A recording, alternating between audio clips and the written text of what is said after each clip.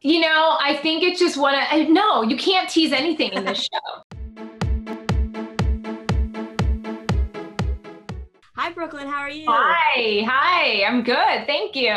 Good. Um, congratulations on this show. This this is like such a wild ride. When you first got maybe this audition or script, were you like hooked immediately? Like, were you like, I need to be on this show? Well, I have to be honest. I heard about, I knew about this script um, way before because I know the creator, Bert V. Royal, and he was like, Brooklyn, I have this character. I would would love for you to play her. Can you read the script? I read it and he's like, Do you like it? I was like, um, do I like it? That's an understatement because, you know, like very rarely do you see a script that inter, you know, like interweaves like the different years, these different characters, and just the whole setup and the premise also being in the mid 90s. Like, it just all worked and it worked really well. Um, and so it's fun to be on this side of it now and seeing the response from everybody. It's been really exciting.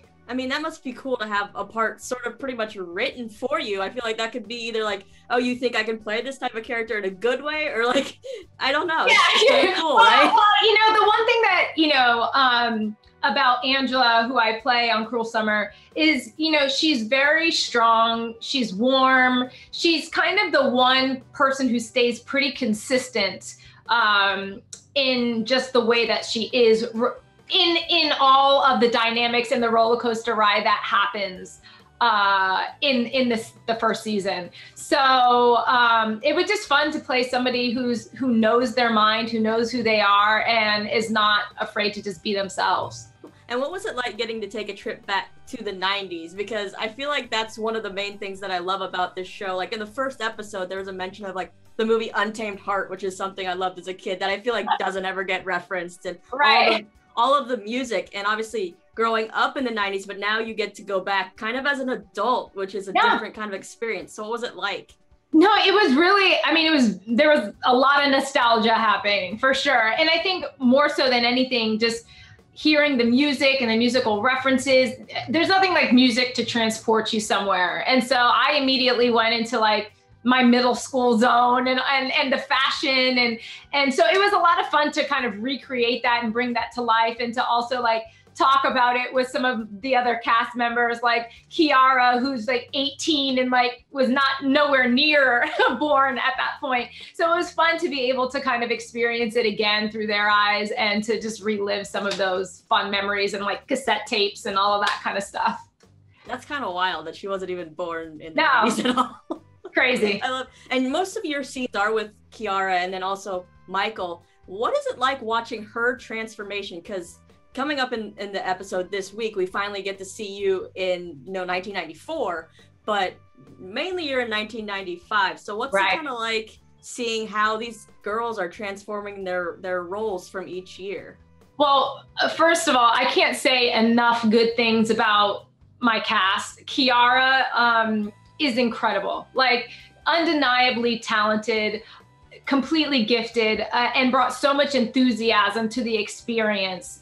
And she had a lot of work to do, and she always came completely there and present. So it was real, it was very easy to work alongside her and, Michael too, because he's a pro, you know? And so, um, so it was just, it, to, to watch the transformation and it wasn't obviously it's you know, emotional transformation and arcs and stuff, but just the physical, like the different hairstyles and all that stuff. Like we would joke, you know, like, oh, who are you today? Are you are you Beaver today?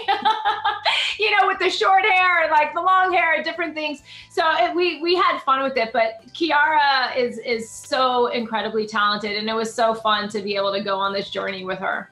And I love this episode because you really we finally get more of Angela, but also just seeing how she has such a good heart and when nobody's kind of on you know jeanette's side she's there whether i mean do you know what i mean it's hard to say like well this is the thing. I think from angela's perspective um the truth almost doesn't matter. And i think it's for her it's that i think she relates to to being a teenage girl, you know, and understanding that everybody makes mistakes and that nobody is 100% perfect and that probably there's truth on both sides to a certain degree. And so, yes, you know, I think she is Team Turner because she is, you know, um, in a burgeoning relationship with Greg and and and but I think what she ultimately wants to connect to is the humanity um, um, in in Jeanette and to have her understand like you are a, a, young human being trying to figure it out and that's okay. And we all are going through that at different levels and we all need support you know? And we're not going to get it right 100% of the time.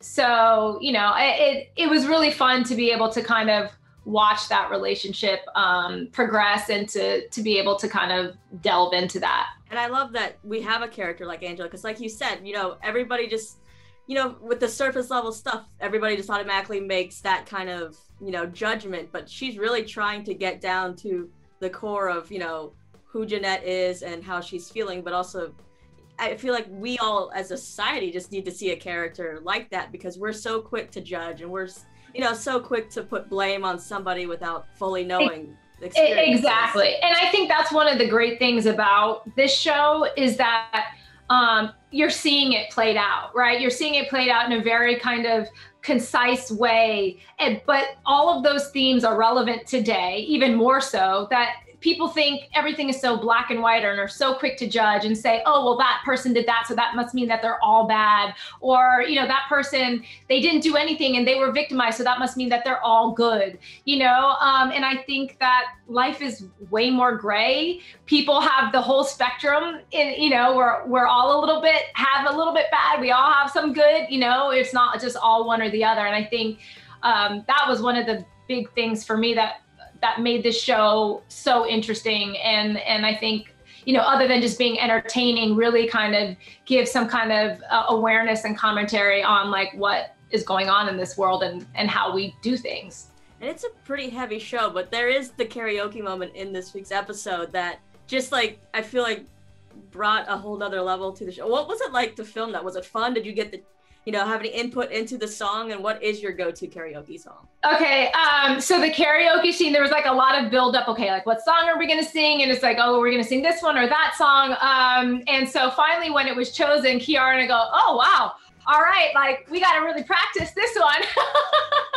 so there was a little bit of nervousness regarding, you know, singing the song, but it was so fun. I mean, I think it's one of the, Chiara has a, a fantastic voice and loves musical theater. And so it was fun for us to, to collaborate on that and, and work, work on that together. Um, you know, my, my go-to karaoke, uh, usually it's like an Adele song, like "Rolling in the Deep" or something like that. Usually, I just kind of wail and just go. For it. I feel like it. that's even tougher than what you were saying. Maybe I don't know. I think I just know it so it. well now. It's just kind of like, all right, let's just go for it. You got to definitely warm up, but you know. um, and last thing before I let you go, what's one thing you can maybe tease about Angela's art? Because we still have like five episodes left. I feel like everybody on the show sort of has a secret. Can you tease anything about what we're gonna see with her? You know, I think it's just one of, no, you can't tease anything in this show. I mean, literally, you can't. And I think that's one of the hard things about it because you can't, everything matters. And so I would just be like, you know, pay attention. I feel like there's like little, pay attention, you know, little clues throughout the whole show. Yeah. yeah. I think that's one of the things with that's going to be really cool about this show is that once we get to the final episode, everybody's going to go back and start from the beginning and watch again because the all the little clues that are left along the way um, are going to start to make even more sense at that point. I love it. Those are my favorite types of shows. It's like watching a Marvel movie. You're like, what's going on? Yeah, exactly. You know, I've got so many text messages like, can you tell me? Can you give me? I'm like, no, I, I'm sorry. I just, I can't. I love it. Well, thank you so much and congratulations on the show. I love it. Thank you so much. Thanks, Lisa. Have a good one. You too.